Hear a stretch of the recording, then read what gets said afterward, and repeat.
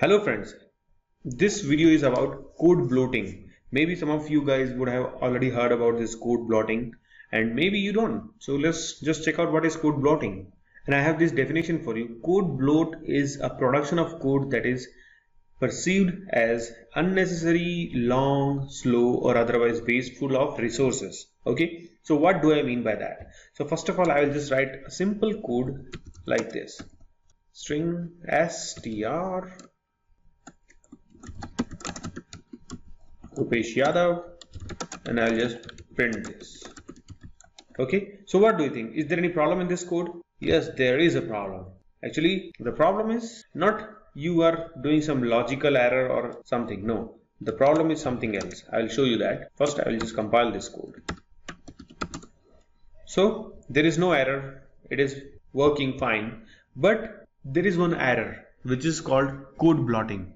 Okay, what you are doing here is you are unnecessarily creating this string variable here. So the result of this line would be you will call a constructor of this string class okay? And you will initialize this constant character string into that okay? And this whole thing will take some time. And you are just printing that okay? So instead of creating this variable you could have just simply put this here okay no need to create this string. You can just simply put this here and yeah it will compile. And which is a obvious thing. And don't tell me that that string is useful for let's suppose I might give some another name to this string. No I'm not arguing about that. I'm arguing let's suppose there was a big program like this and thousands and lakhs of lines program. And when it ended you just printed something like exit okay?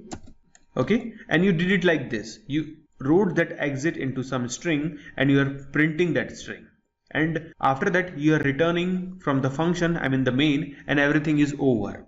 So there was this waste initialization. There was no need of doing this. Okay? But still you did. So this is a code bloating. You are unnecessarily writing extra code. Okay? So this called this is called code bloating. There are another example also. I'll tell you that also okay? So this is first example and second example is something like this.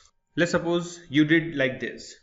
There is a requirement for you like you need to create a address string which is composition of www.google.com and this is how you are doing it okay? And this is not going to change because this is google address okay so this is google address. It is not going to change. Is it it is always going to remain google.com but still you are doing these much thing to get this google address. But instead of doing this much you could have simply written this www.google.com here itself. Okay? Or just here itself. Okay? Are you getting my point? What i'm trying to tell you we are not supposed to create variables and any resources which is really not required. And if you are doing that then you are coming into the code bloating stuff. Okay? So this is second example. And what do I mean by you could have just simply written here oh my god I use two three laptops. Keywords are different. That's why I face lots of problem here. Oh my god instead of writing this I could have just simply www.google.com okay? So you could have written something like this instead of doing this much. Okay? Remove all this crap if you really don't want that. Okay? And why? Because google address is always going to be same. I mean the google search engine go google.com okay? So no need to take www separately google separately com separately after that adding and all that. No no need of doing stuff. So next time if you write program you keep this in your mind that are you going to create a code bloating? If not go ahead. Okay? So this is a kind of question mark in your head whenever you write any api or something. Okay? So this is second example. Third example is inline functions. We all know if you are writing some class let's suppose base and if you are writing something like print in this function I mean the class and this is printing some value. Let's suppose x and there is this underscore x here and it is something like this. Okay?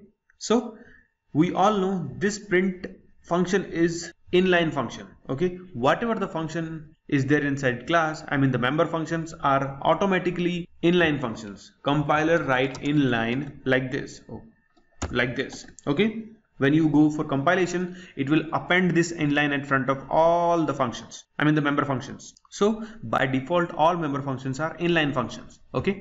And whether it is inline or not it is compiled time decision. Okay? So if you are using this like base b1 and b1 dot print then it might replace this b1 dot print with this whole code here okay? And let's suppose you are writing something like this. See out. Hey I'm going to print underscore x okay?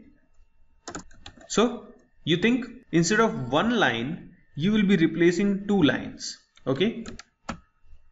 This is two line actually. There is a semicolon here okay? So and let's suppose you are doing this for thousand times so for thousand line you are doing for 2000 line okay so that is becoming code bloating your image size will increase i mean the executable size will increase so this is also a code bloating example okay so I think I'm done here. I just wanted to show you a new word in programming code bloating. It is there and this is taken from Wikipedia, this definition. So if you like the video, like and subscribe. I'll see you in the next video.